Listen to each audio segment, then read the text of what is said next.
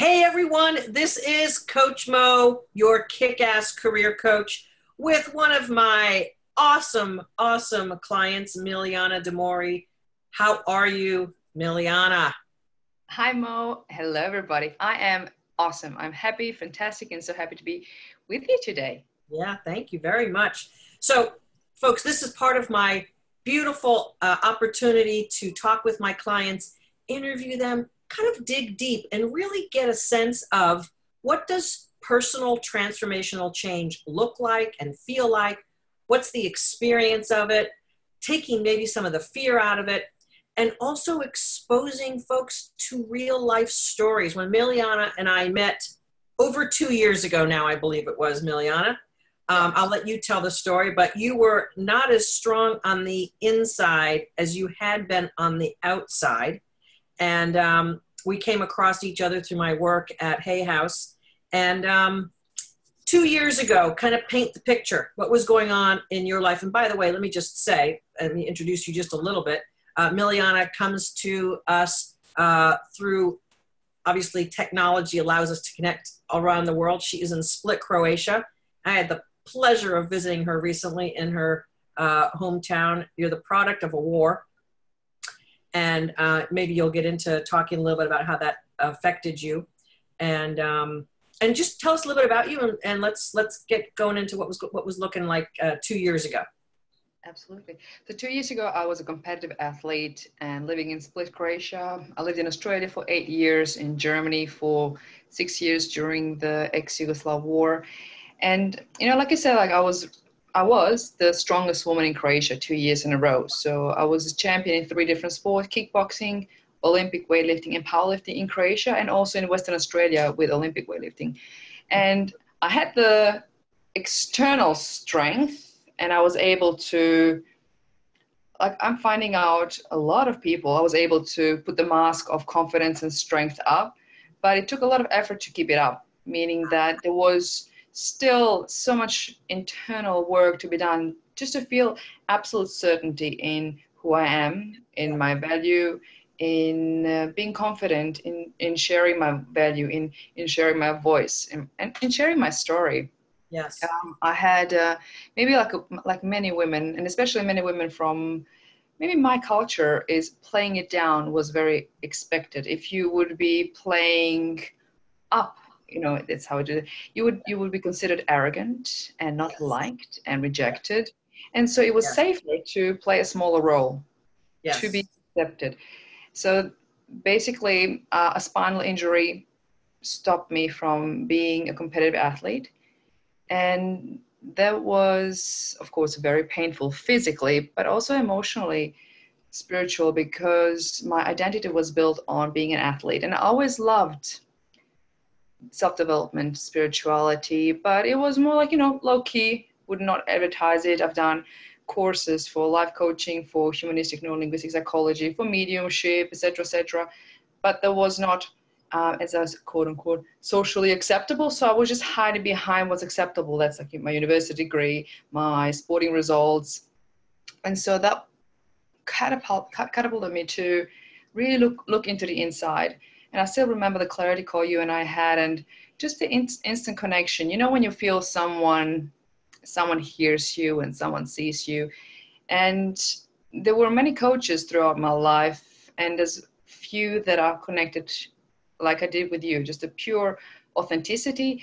And I love people that have results. So I've learned never to listen to people's advice. I look what they live.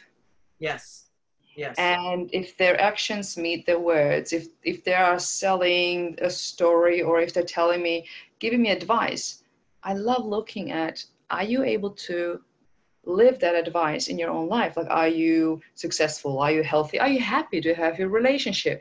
And right. so for me personally, I was waiting for long times to be a, a coach. Mm-hmm. Because for me personally, building my authenticity was more important than getting out there and coaching people. So I, I really wanted to be authentic and strong in my health, in my emotional strength, in my life results, in my finances, in my career, in my relationship. So the major areas for me were so important to be authentic that something inside of me did not allow me to comfortably coach people. And now I know that this was necessary for me to stand in my power. So um, let me just highlight a few things that you said because I know you super well since we've worked with each other for over two years. But people who are just meeting you, uh, I'd like to highlight a few things. So the first thing is you became a humanistic neurolinguistic practitioner, an NLP practitioner for personal reasons. Yes, I had a lot of war trauma and um, domestic abuse in my family and eating disorder. So I, I was having an eating, disorder when I started into the self development, uh, depression, suicidal thoughts.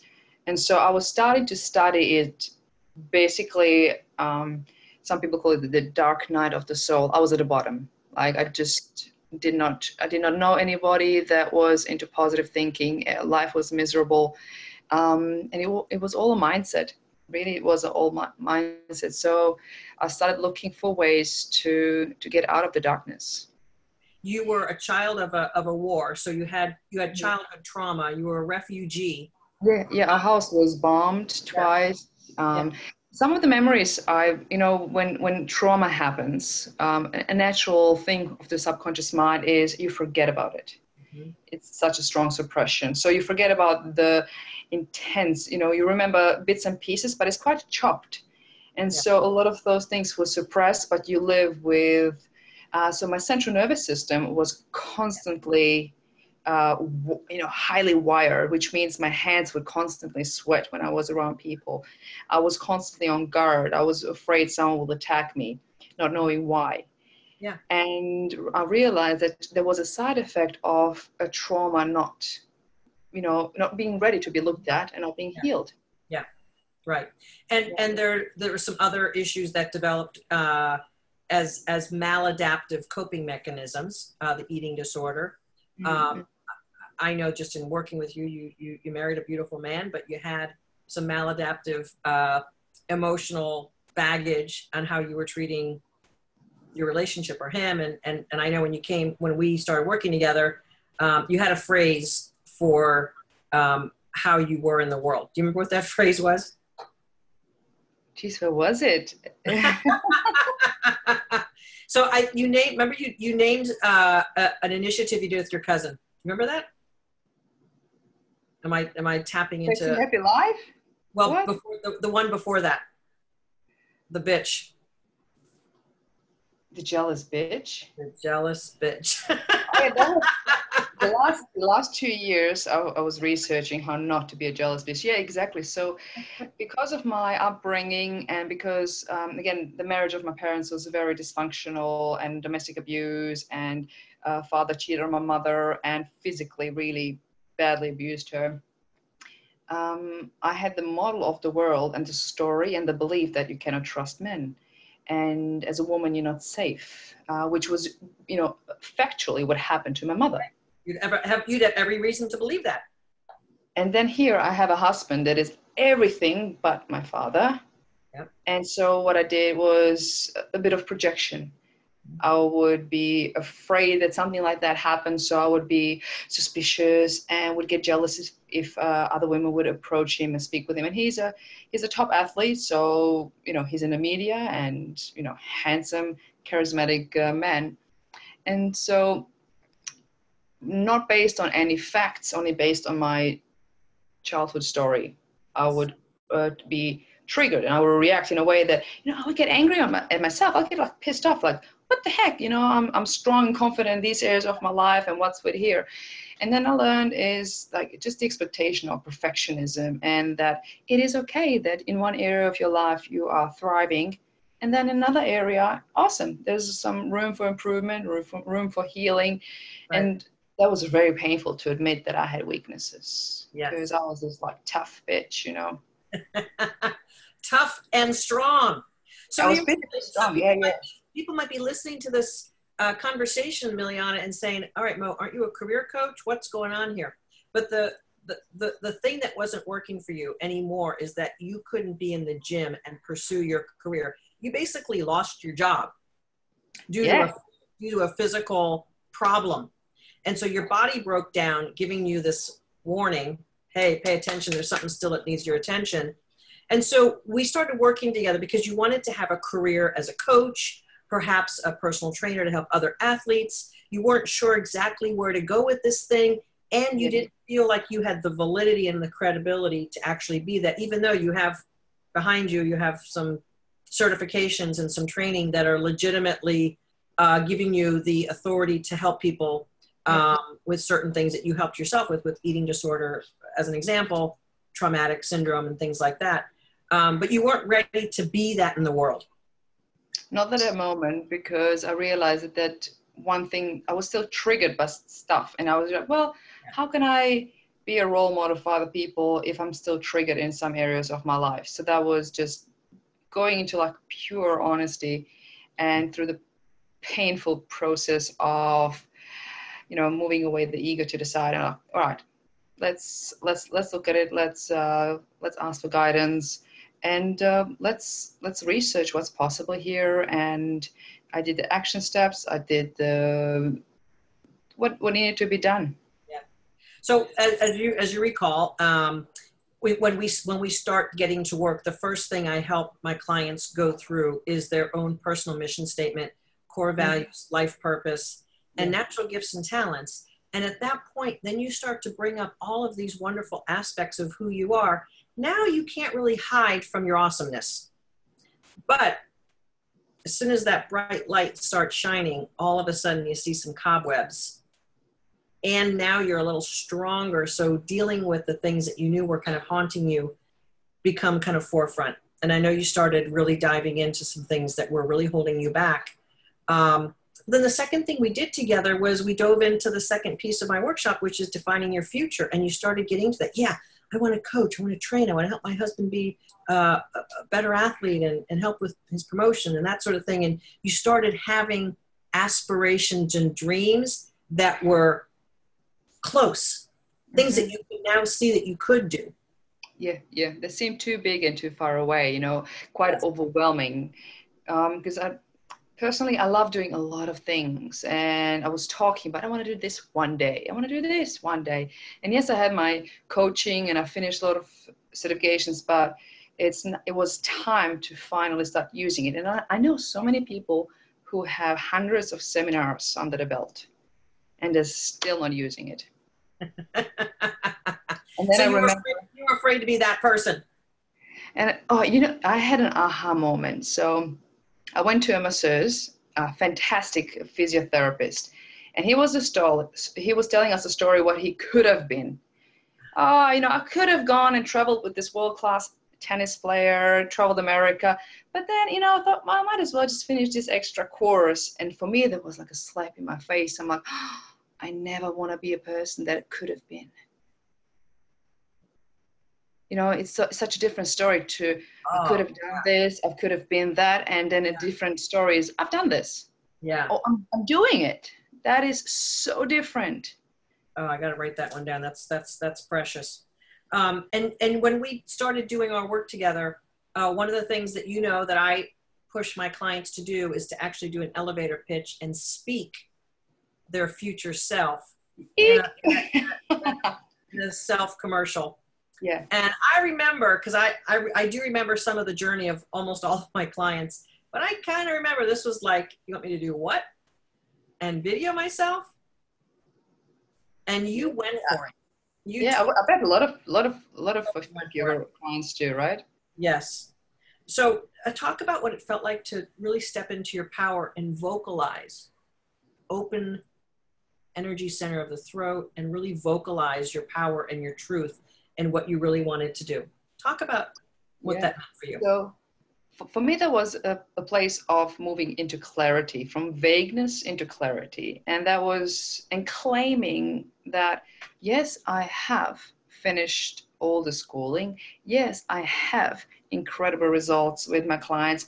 Stop playing small. And so the elevator pitch was like, all right, hi, my name is Milijana. I am a top performance coach teaching athletes to have the best results in high stress situations, students, executives overcome traumas so they have the best performance and the best life when it matters. And my real life result is I when I use the principles that I've learned on my with myself on myself. Every sporting competition, I had a national record. Because you knew how to control your mind. I know how to mentally prepare. I know how to program my central nervous system. I know how to turn nervousness into positive adrenaline. I know how to visualize. Yes. And so it's like actually I I know my stuff and now, you know, with your with your course, I was almost like given permission to just claim it like, yeah, I know I know this works. I've got real life results and I have it with my clients and it's like stop playing small stop minimizing. It's oh yeah i'm just you know just a few national records nothing big. You know broke a record was there for 12 years and then i broke it. Ah you know. Anyone could have done that. Yeah anyone. Yeah, mm-hmm. yeah. right. Claiming your greatness sometimes is one of the most um, difficult things for us to do. Mm. look at who i am. Look at how powerful. Look at the fact that I can control who I am. And now it's like, okay, well, I did that in the in the weightlifting and in the kickboxing. I don't know about the rest of my life, but you got to work on exactly what was important to you, and that included your marriage, and that included how you how you showed up to be a partner in your marriage. And and I know, and and having now met your husband, and and he sent me a, a delightful email when you uh, finished the workshop, and uh, of course he he loves you more and more every, every single day, of course. But he said something very, very impactful um, to me, and I know also to you, that you used to be the woman with all the ideas and all the ambition, but no action. Yeah, and he, was, he, was little, he, was, a little frustrated with that because he was like, "All right, great, you're talking about all this, but let let's get it done." Mm-hmm. And the time that we've worked together, you have gotten so much done, and I know he is so proud of you not because you've gotten it done per se, but you've become the woman who is totally aligned with your words and deeds and desires. Absolutely. So his words now like are Milijana, you have a PhD in getting shit done. yeah. I do. I do. Right. I, I, I, that was I was realizing that you know maybe a lot of us have it, but it, a lot a lot of fear was behind it, and a lot of perfectionism and fear of failure, fear of success, fear of oh this is going to be too hard, and how long is it going to take, and you know just a, a lot of fear not based on facts. Yes, yes, and so gradually you started accomplishing, accomplishing, mm-hmm. accomplishing. I know that the first time that you set out to uh, achieve your your action plan, which is as you wrap up my workshop, as you know, uh, there's eight by eight action plan, and it's a, a very specific way I help uh, my clients create very uh, robust goals that might seem overwhelming, but we break it down so that it's totally achievable. And I believe, if I remember, the first time you did that 12 month plan, you achieved everything in six months. Yeah, and you're like, now what do I do, Mo? I'm like, do another one. yeah, was, uh, you've done that a couple of times. Yeah. yeah. So, so um, what does it feel like to actually achieve the to-do list and the not just tasks, but to to get stuff done that actually elevates your career, elevates your income, elevates your lifestyle, elevates who you are in the world, elevates your marriage because I know that's one thing that you're very proud of is having a, a better marriage with your husband. Um, talk about how that feels to actually have moved yourself from broken down and hurt and fearful and the jealous bitch to who you are today. Talk about how that feels because that's that's a magnificent um, growth and, and, evolution that you've made as a person. Yeah. How's that feel? Yeah, it feels amazing. It feels just a sense of pride and a different attitude of willing to do the work mm-hmm. and willing to show up. And uh, basically the more i showed up honestly and vulnerable with more vulnerability the better my results were. And if i didn't show up oh no results. Wonder why. And so having you know you in my corner and you know you have a gift of seeing brilliance in people and you don't see you know people your clients fears and it's like yeah of course and so everything that i wanted to do was you know, having a tourist apartment, which is now a passive income for me.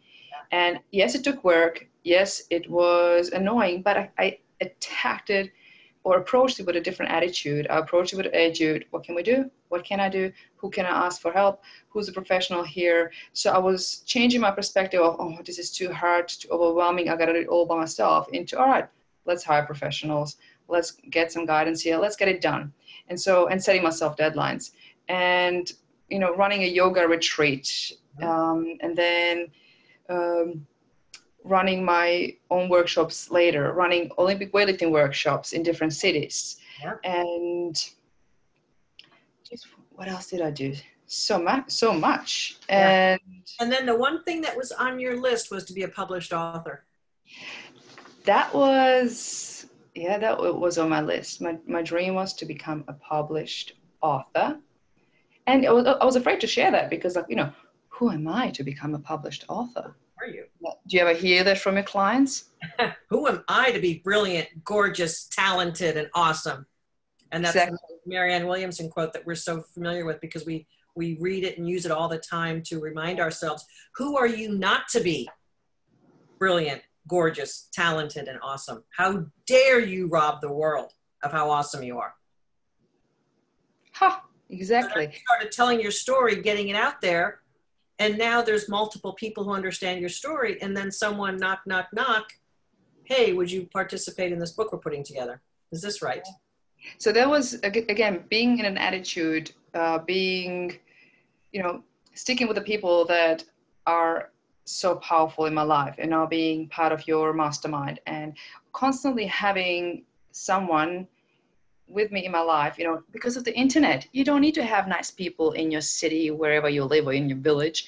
It's there's no excuse anymore. There's the the, the internet gives you the possibility to really find amazing people and yeah. so i said yes to opportunities and i said yes to investing in myself and i said yes yeah i'd love to be part of this group which is a association of transformational leaders in europe and these are transformational coaches leaders published authors best-selling published authors, authors that were uh, Oprah, Mindvalley, etc., etc. And so I was invited to be part of it, which was like, wow, this is so awesome.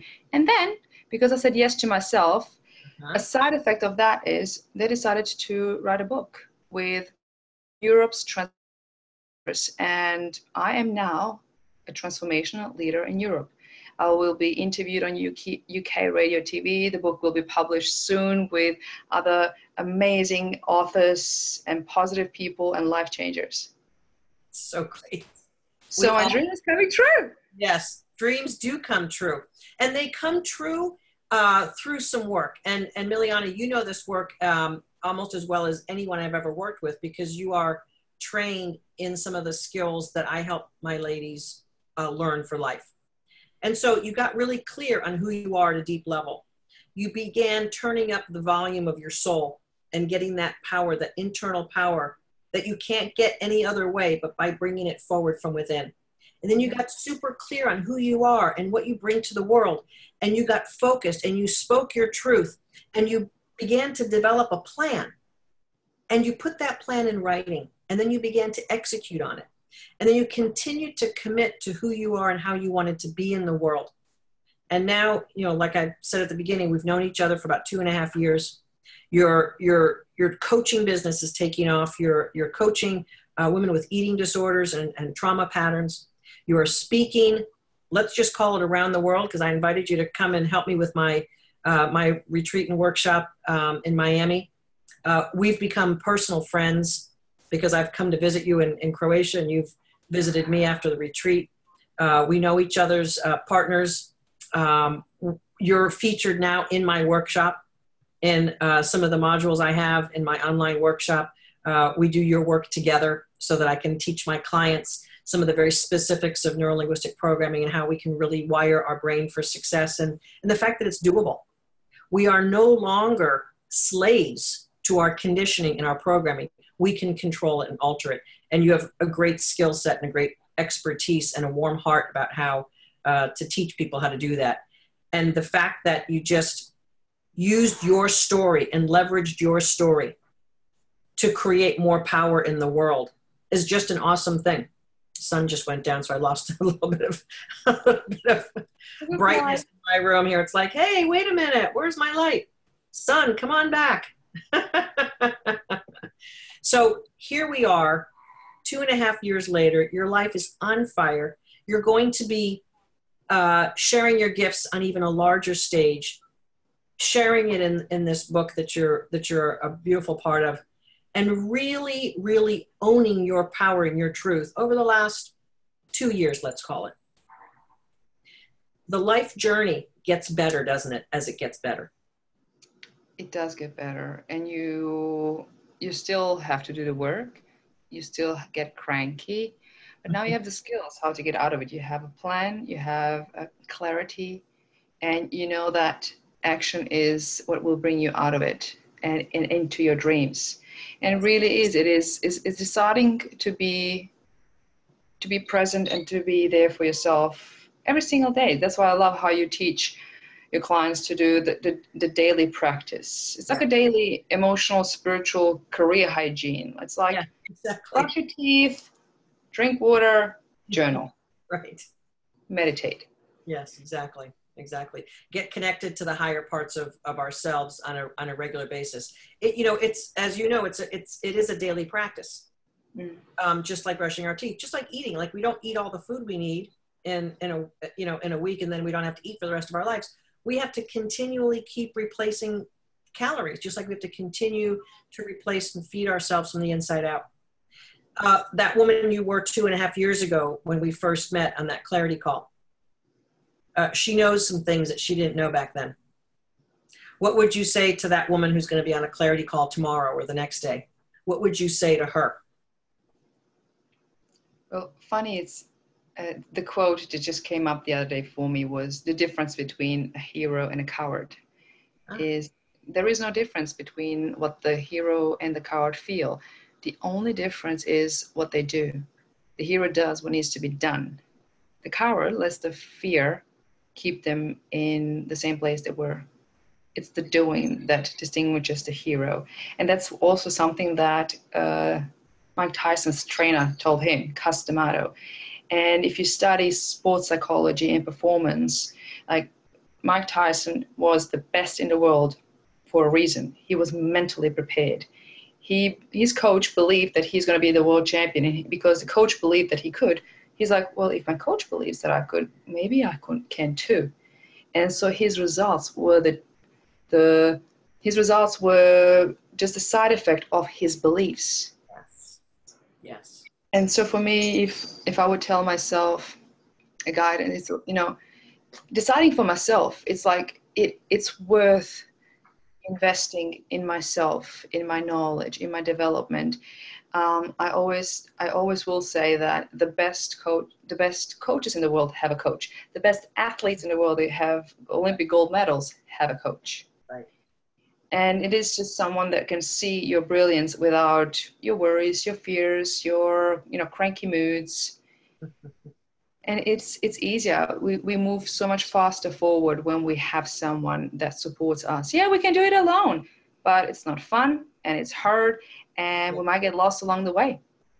You, you know from working with me, I've had a coach for now 18 years. Not the same one. I've had a variety of different coaches who have served me mm-hmm. uh, as I've uh, evolved. I, I now have um, actually two coaches, and then I belong to a, a mastermind of other coaches that we all help lift each other up and be better at our craft. I wouldn't be anywhere I am if I hadn't made that conscious decision 18 years ago that in order for me to be who I wanted to be and to feel how I wanted to feel and to have that outward success that I wanted to have that I knew was possible for me, but I, I, I didn't know how to do it and I was getting frustrated and lost in my own emotional state. Um, I got the guidance I needed. And and as you know, like the 12 week workshop I have, I, I put women through what what takes many people 20 years or more, or even sometimes they're never able to do.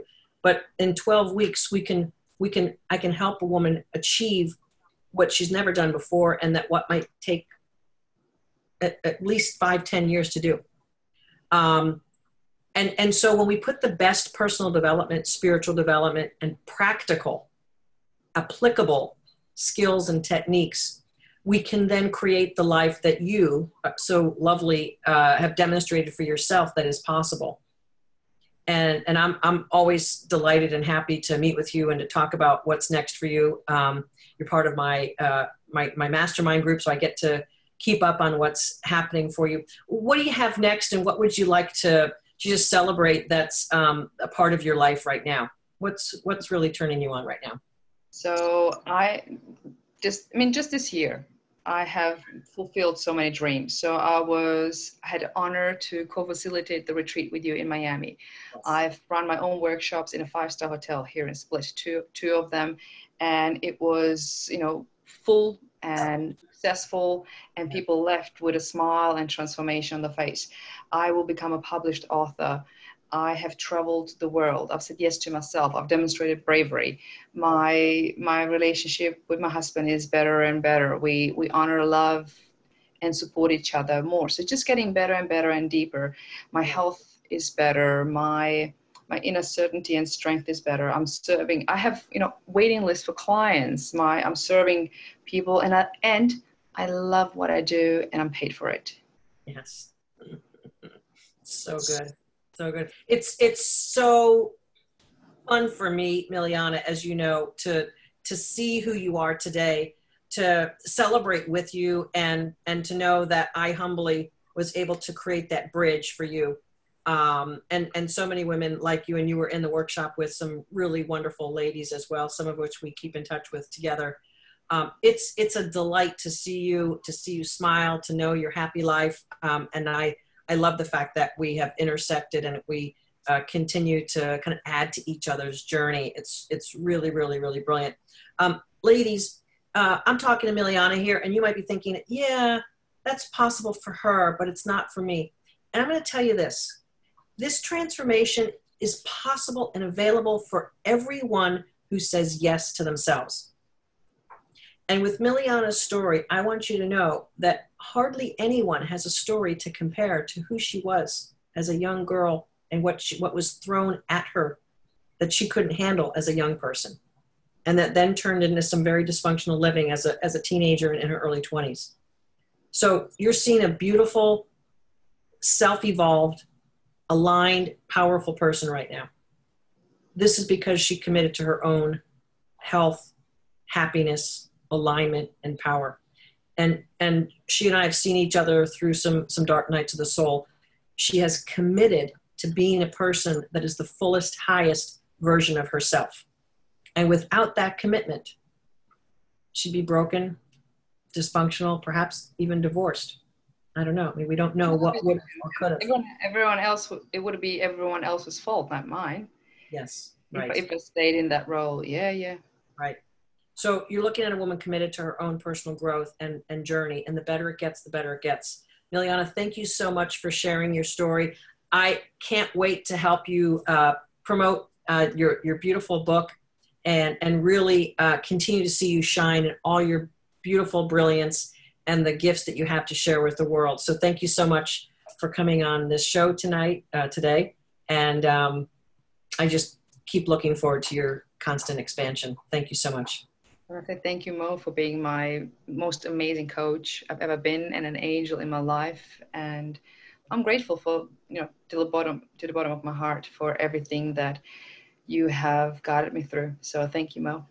You're welcome. All right. Milijana, talk to you soon. And folks, this is Coach Mo Faul. You can find me at mofaul.com and you too can up your life just like Milijana did. Talk to you soon.